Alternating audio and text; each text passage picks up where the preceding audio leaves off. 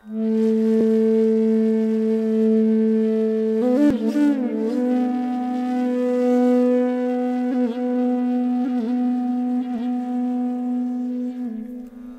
પ્રભુ,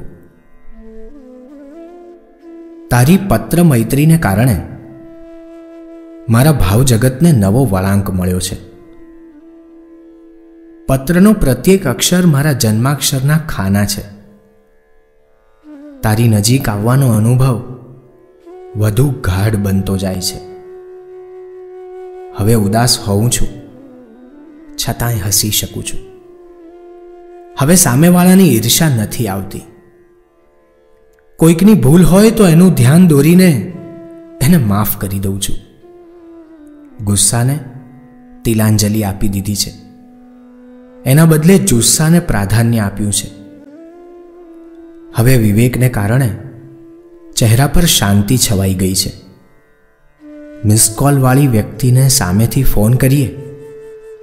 એમ ભૂતકાળની ભૂલોને ફરીથી મળું છું.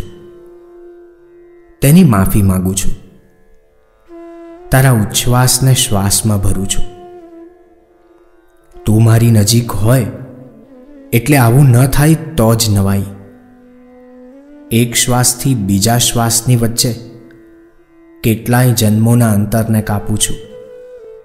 પણ તારી હાજરીને કારણે તેનો થાક નથી લાગતો.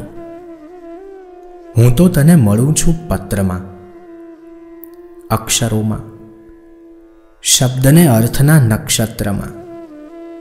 તું મળીશ ત્યારે બે શબ્દો વચ્ચેની ખાલી જગ્યાને ઉકેલવાની માથામણ કરીશું. અત્યારે તો આટલું જ. સૌથી વાલો? તું જ. લિખિતંગ સહજ થવાની યાત્રામાં. તારો પ્રવાસી.